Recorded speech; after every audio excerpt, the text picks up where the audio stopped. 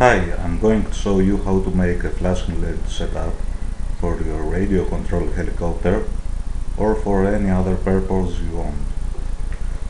To achieve a better result, when we have two or more LEDs that we want to flash, we can make a, each one to flash in a different rate. To do so, we must have different color self-flashing LEDs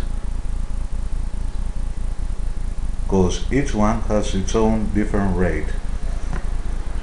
To make them flash in a more complicated manner, we can use two self-flashing LEDs in a series connection, like this one and this one, or this one and this one.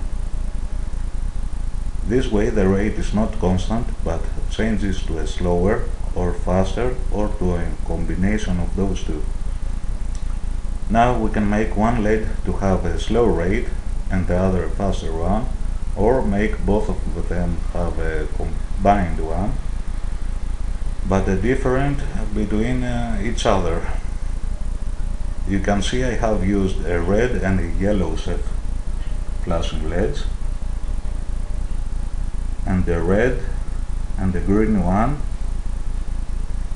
in this series.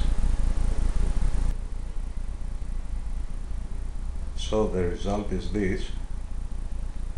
You can see that this series of LEDs plays in a different way than this series of LEDs and it's a different one than when we have used only one self-flashing LED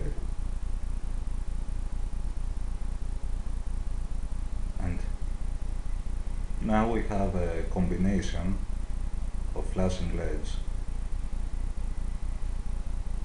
I will tape the self-flashing LEDs so there is only left those two blue LEDs to flash in a different way. But you can do what you like. Now you know the trick. Thanks for watching